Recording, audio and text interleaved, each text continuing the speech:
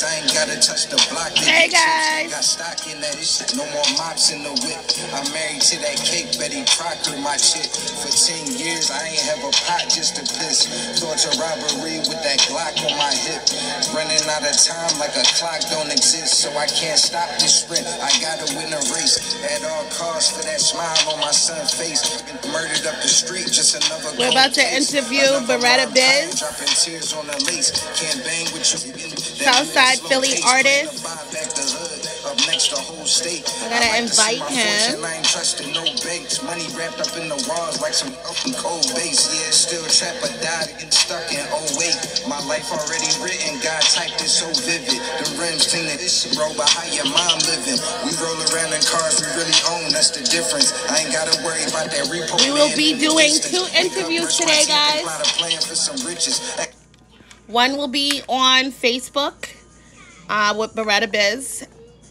He's here, so I'm gonna actually we're gonna bring him in now on Facebook, and the other interview will be with Wiz Hofa on Instagram. Okay, so we'll be doing 20 minute interviews tonight.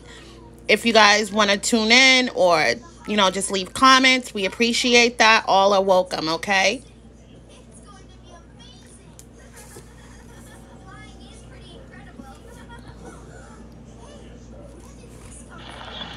Hey, Good, what's good? how are you? Good. Can you hear me? Yeah, I can hear you. Great. Okay, good. How you been?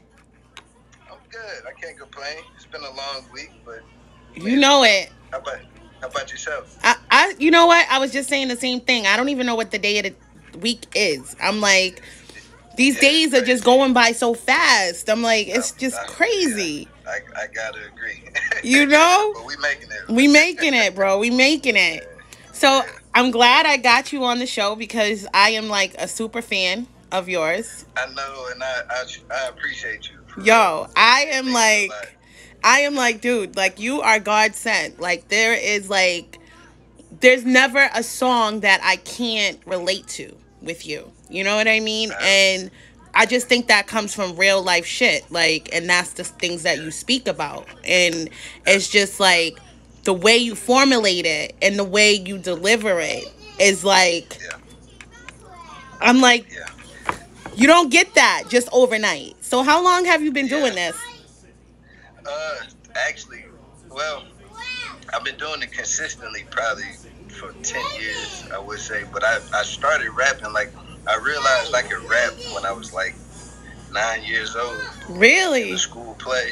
Yeah, like the school play called for the role that I was in to write a rap, and I had no clue I could rap, but I just, you know, I, I was up for the challenge, and I did the rap, and you know what I'm saying? Like it was comfortable. Everything that that I wrote down just flowed. It just you know, went. a little bit, and then when I got to like grade, me and one of my buddies named James, we decided we was gonna start a little rap duo and uh, we started writing songs. We never did, you know, record or anything like that, but it was just, you know, it was just kind of cool to find somebody else young that That could do it. too.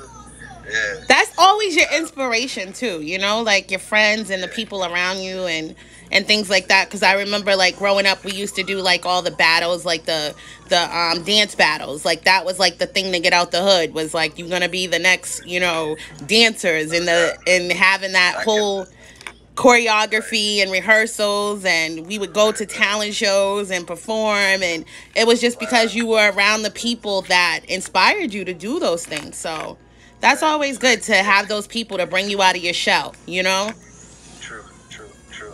I wasn't much of a dancer though. I was able to formulate some words. so tell me biz what um where are you located now because i know before when we were talking about doing a show in philly i know you said that you no longer reside there are you close to there or no, I'm, I'm in the South now. Actually, I live in Memphis. Well, actually, I've been in Memphis for a while. Uh, really Yeah, Memphis, Tennessee. I want to get to Memphis. Memphis be popping, and the music scene is there. It is. It's a lot of uh, local talent. It's a lot of like underground guys that I'm a fan of. You know, Uh huh.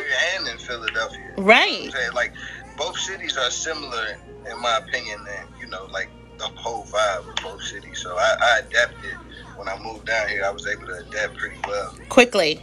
Living down here, yeah. That's dope. That's dope. And I know there must be like all type of music outlets and circuits and things like that. So are you performing out there like before this all happened? What was what was your performance Uh, like? yeah. Well, I was I was doing shows here and there. I actually got a show coming up um, in June. That's my next show. But um, I would do shows here and there. Uh, I was doing a lot more open mics probably five years ago. Mhm. Um, I was doing more showcases and stuff like that, just to you know, just to get comfortable being on stage and stuff. And um, I started around that time. I wasn't focusing so much on the craft of music. So in the past five years, I figured I need to start like going harder and making better songs. So Mhm. I kind of not put. I didn't necessarily put performances to the side, but I wanted to focus more On the craft. my craft and yeah, and being a better artist. So And I you're doing do it. Shows here and there. Yeah, You're doing it, and that's you know it's it's funny that you said that because a lot of people don't understand that it's definitely you have to be you know focused on one aspect of it at a time, and you can't just go from you know like from shows to this to that because you have to have all those frames like you have to have all those things down packed and mastered and just to understand that you're disciplined enough to know like that I know that though about you. You know what I mean? Just by yeah. the things you talk about in and- your music. Right, and it really just came from like seeing like other people live, like like kind of like um, I guess you would call like industry rappers, seeing them live, and it's like man, I, I want to kind of you know recreate that sound, but I felt like my music wasn't there yet. Like I could I could get on stage, I don't have no problem getting on stage and performing, but it's like I want to have you know like a memorable show. I want people to be like, yo, this That was that that tight. You know what I'm saying? you know what's so funny, Biz, is that I the first not I don't want to say the first show. Well, there was two shows that were inspirational to me. One was MC Lyte and Chubb Rock. I went to a show when I was about nine or ten, maybe, and Chubb Rock didn't perform. He said that the mics weren't working. MC Lyte came oh, out there and she smashed it. Like made him look like really like that's your excuse like an artist uh, an entertainer is going to take the mic no matter what. You know what I'm saying? They're going to make it work. And especially to have all those people come out like I didn't understand it then, but after being in the business, you understand that the show must go on regardless like mics or not. Like this is this is show business. Right. Like and you don't want to You leave that bad there. impression on people. Um Right, right. my next show was Diddy. Diddy is an entertainer.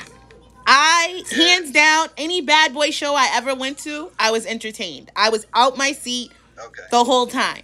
So that to me is a show. And like you said, you want to be able to put on a show.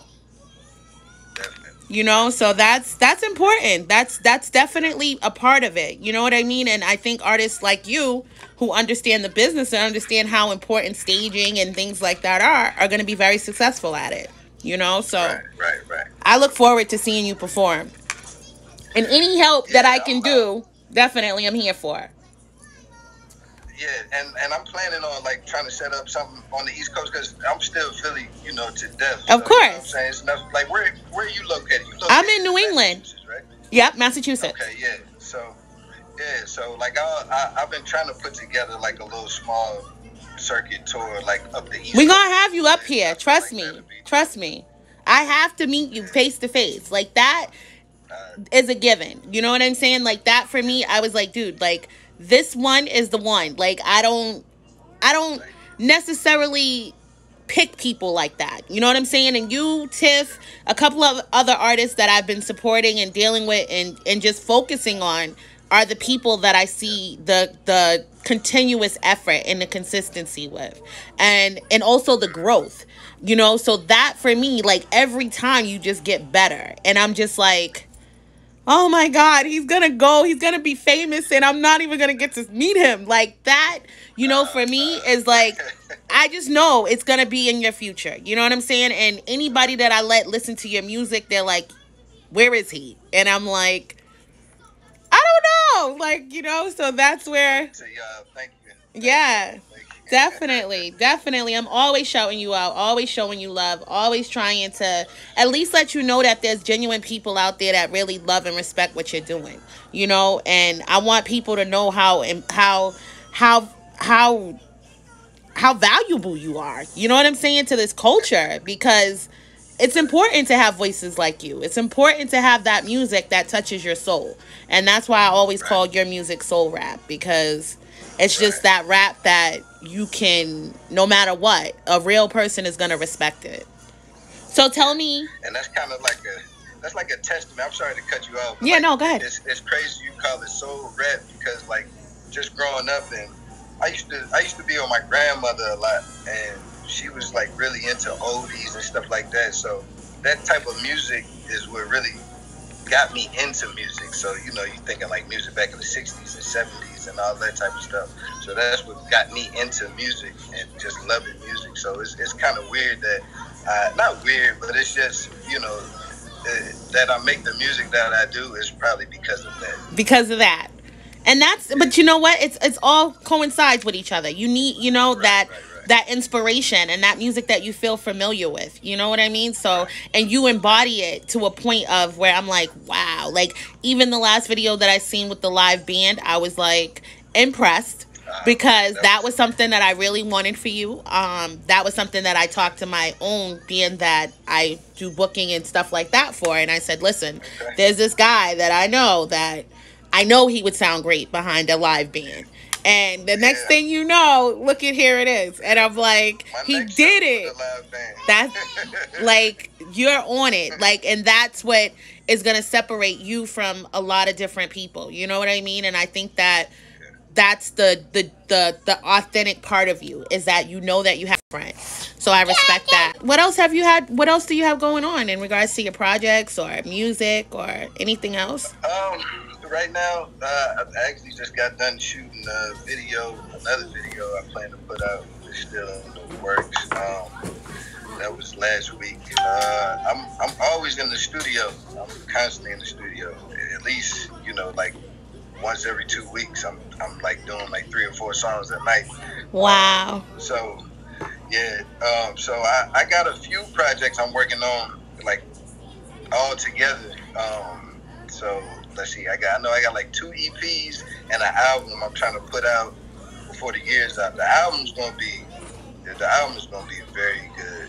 Everything's gonna be good. But the album I'm really the most excited about. Right. One of the EPs is is gonna be like kind of something different. It's gonna be a little darker than most people would expect from me uh-huh um, you know, called Trap Bits. I wasn't I wasn't supposed to even say the title, but I'm gonna do a trap album. oh you are well you know biz Yeah, it was funny when I seen you with the with the with the with the gun in the in the video. I was like, oh, whoa, whoa! I wasn't expecting that because you've never displayed that side of you. I know it's there, but I I didn't see that before. So I was like, oh, whoa, okay. But we, we all got a story. To we all got a story to tell, you know. So I was like, you know, but it's it gives you the real the realness. You know what I'm saying? Is that don't judge a book by its cover because you just never know what people have been through and I think that you're very humble, you know what I'm saying? And whatever you've been through. So, and that shows through your music. You know what I'm saying? Is that at least you're trying to give back and show people the right way. Even though, you know, we all make mistakes, like learn from my mistakes. And I think that's what your music speaks to me about, you know? So. That's that's that. that's definitely that's I, I like I said I've always said I want to hear you and J Cole on a track together. Like I think that would be like a dope Man, track. that- Cole is one of my all-time favorites, man. I love that dude. Look, everybody's putting hearts. Yeah, y'all know it, right? Y'all gonna see it, and y'all gonna be like, "T was right." That was a platinum. That was a platinum hit right there.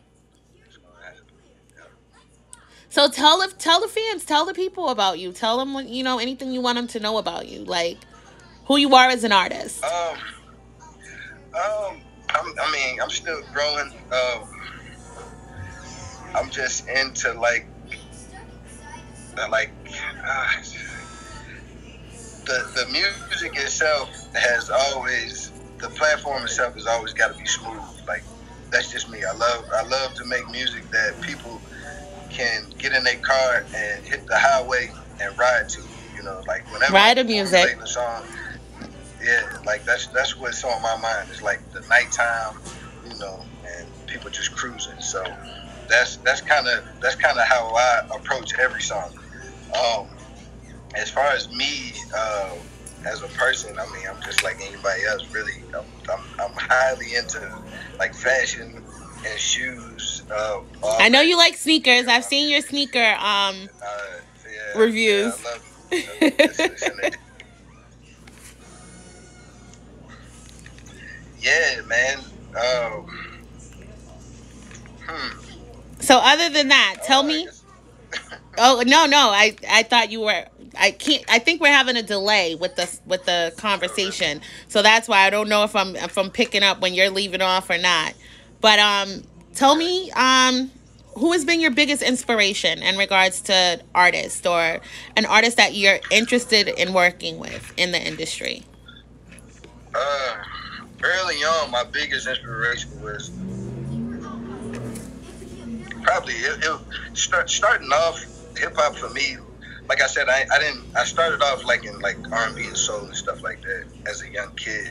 But the but like rap, what made me love rap was Mase. Mase, Mase is Mason yeah, Betha, got me you know rap. that. Yeah, like yeah, like hearing them on that. Can't nobody hold me down. Like that. That was crazy to me. That was my So it boo. was him. Yeah, it was him, and then like Jay Z for the longest time. You know, Mhm. I, I still love Hov. Yeah. Um, Jay Z, uh, Beanie Sigel. He grew up kind of like down the street from me, so you know you can't be from Philly and not respect Beans, Mhm. state property, and all that. Mm-hmm. Um, Cass, Cassidy, he was a, he was a big uh, you know big part of me Wanted to be like real lyrical and, and, and you know use bars and stuff in my music. Right. But the biggest, probably the biggest inspiration for me is uh, a rapper named Currency. I don't know if you ever. Yeah, I know who currency is. Yep. Yeah, yeah. So you like Currency. Yeah, that's That's one of your biggest. man. Okay. I, I, I, yeah, I gotta, I gotta work with him one day, man. I listen to him every day. You do? Yeah, it's real. See, I've only heard of him like through different people and things like that. I don't really follow his music or anything. So now you're gonna make me go check it out, just because Yeah. you're inspired by him. Yeah, and uh, what I what I inspire what I'm inspired most about him um, is really like his work ethic, and I try to match it. You know, maybe not match it, but I, I just try to stay on that kind of level with him. He put out he put out so many different records and tapes and stuff throughout the years. For like the past ten years, he probably got a hundred mixtapes and albums all together. That Really? and that, I, I just respect that because the quality has never gone down Gone down. out of all those projects. So, you know, it's just an inspiration to me. It's like, keep going, man. Keep going. That's awesome, Biz. Like I definitely like am glad that we got this time to talk because now I get to know a little bit more about you personally, but also, you know, just the the things that motivate you and inspire you and are also inspiring to me, you know, and other people out here, you know, so that's always important to have these type of conversations and interviews and uncandid interviews with artists because you never really know what the person's thinking behind the music, you know, so Right. or where where they're going with it. Um, Right. tell me what would you say is the hardest challenge that you faced in the music industry right now? Mm, hardest challenge. Um, probably growing my fan base. Like, Mhm. I feel like I'm pretty, I, I'm pretty much a, like a people person. Um, so it's like, man, I, I can easily reach people like face to face and stuff like that. I'm, I'm constantly promoting that way. Right. I think I think the whole internet marketing thing is where I'm like struggling at. I'm struggling with that. So it's like getting my music to cross over. But you know, thankful to people like you and, and you know others that really you know constantly share my music and stuff like that. That means a lot because you know I know there's different eyes on me now. Of course, every it, so. this is this is my whole point with people and and them understanding what this internet is about you know is that we have to share and show and put eyes on the people because they might not necessarily be able to reach the people that are in our network.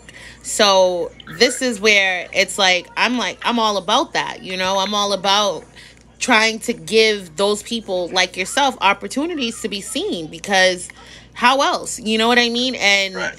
This is uh, like again it goes into marketing budgets things like that. And you also have to have a campaign you know a campaign that's going to bring some type of notoriety or attention or gain more followers for you. Um Okay. and we find that now it's more about the interaction you know what i mean? Asking people open-ended questions um, to gain responses. Um, and then that way you can kind of you know build from there. Um, a lot of artists don't understand the importance of working with their fan page opposed to their personal page um, the fan page is something that you can reach a lot more people with um, i'm not necessarily always too keen on working on the fan page just because it's it's a whole different base you know of people Yeah. um but Right. if you work on it and if you build it and if you put some type of marketing and promo into it budget um, through facebook. You can definitely reach and gain more people. Um, and you can definitely get something where it's you know what i'm saying? Like we have a couple of different services that we offer and we'll talk about that later um, at some point. and they're reasonable you know what i mean? But in regards to growing your fan base organically and just giving people the opportunity to see you. Like i try to do that because i know that there's people in my network that would that love your music. And i'm like listen like i want to share the wealth. I want to share this gift to the world you know? Like this is a gift. Like you are a gift. And that's where I think people need to understand in our in everyone's network is that all the music and things that we're sharing are gifts to, you know, give of artists that are out here that, you know, that we can support and just view and just see and and really just support their music, you know? So that's always my goal, you know, with you guys is that to make sure that people understand that you're reachable that you're there that you know they can request you it's okay you know and i think that's the part with facebook that's kind of hard because some people feel like oh i don't want to overstep my boundaries and, and, and request this person but all my friends are your guys' friends too okay Yeah, that's right. I'm very, I'm very cordial, very open. You know, just send me a friend request. I, I think I might be at my limit, but send me a, uh, give me a follow. You can follow me on Instagram. You can still That's the best follow. place. Instagram's better.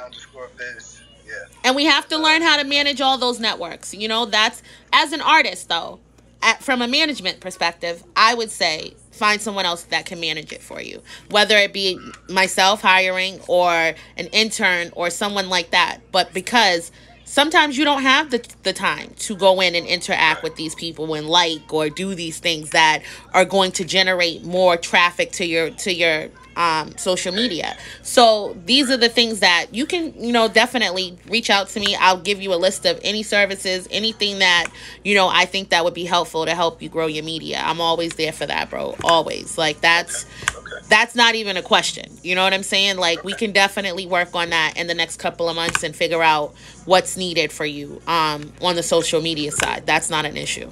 Um but in regards to like oh, I have one other question and then I'm going to let you go cuz I know we have Wiz we're actually 6 minutes late. Um we have Wiz coming. Um so the one other question is what is the what is the most positive thing you've seen happen during the pandemic? Um, I feel like I'm, I'm seeing a lot more people uh, realizing that you don't need to spend. People are saving more, and they're noticing the benefits of saving. Right. Me included, because I'm I'm very free with my money. Right. Yeah. Right. I get paid. I'm ready to go. pounce. Exactly. Um, But it's be it's it's now it's teaching you preservation, right? Right, right, and and, um, you know, I I know you asked about the positive, but one of the negative things, I, I feel like socially, like it'll hurt people though. Like I feel like being in your home, being forced to stay in your home so much, it's gonna force people to not want to come out. I feel like I feel like social media is about to spike. Spice. You know yeah. This will be the only way to communicate. And it sucks. Right, right. like face to face is that's that's almost out of here. That's like extinct. It's stuck. You know what, Biz? You know what's so funny is that when texting first came out and like pagers and all that, I was like all into it. I was like, oh, this is perfect. I don't gotta talk to people. Like they could just text me. Now Right. I'm getting older and I'm getting pissed because texting can be so misconveyed and misconstrued that I'm like, what the fuck do you mean? What like didn't you understand what I just said? Like now I gotta call you because I don't fucking understand what you're talking about. Like it's like this Yeah, whole hey, communication factor is different and people are becoming so dumb and dormant that i'm like this is what we resort to to just pressing a button and saying oh i seen you today. I like you. Like it's just there was this movie that was it talked about that like where it talked about like in like the 2000s how it was gonna be like um uh it's called this oh what is it called? It's called something like where they like become vegetables. Like people are gonna become vegetable state. Like where we're just so like we're gonna be fat obese and out of shape because we don't have to move. We don't have to do anything. Like you can literally do everything from your chair and that's just Yeah. not healthy for us that's not healthy for us mentally or anything so it's like sometimes i have to tap out of this like this. Mm-mm. Like I have to tap out of this and get back to the reality and, and the real like the people around me because I think sometimes we get caught up in this world that we forget that there's a world going on around us, you know, and sometimes this is smoke and mirrors. Like it's not. Man, it's not you know what I mean, what what you think it is, but Right. hey, some people that's how they've lived their life now. And I get it. You know what I mean? But you got to tap out and definitely see what's going on around you because That's right. it's a whole world out here for us, I swear. you know? But I look forward to building with you more and having more conversations. I want you to definitely hit me up when your next track or your next single or EP drops so that we can bring you back on the show and talk about that and see where it goes. Sounds good. I appreciate you having me. Of course, you. Of course, make sure you tell the people um where they can reach you at on your social medias. Uh, yeah, follow me uh, on Wiz, I'm coming. Twitter at uh, Beretta underscore Biz. Uh, you can follow me on Facebook, Beretta Biz. Uh, look up my music. I'm everywhere, Beretta Biz. Check He is the truth. You hear me? You hear me? I get amped every time I hear his music. Every time. All right, Biz. I'll be in touch though for sure. Okay. All right, honey. You be good and have a good night. All right, be blessed and safe. All right, honey. Bye. All right, guys. So now let's see where we are. Yo, his energy is so real. Like I telling you, y'all y'all don't even understand who y'all just dealt with right now. But y'all better go listen to his music, okay? Wiz, I need you on uh Are you on here? Wiz, are we doing Facebook or are we doing um Instagram? Because it looks like I see you on Facebook. But I don't see you on Instagram.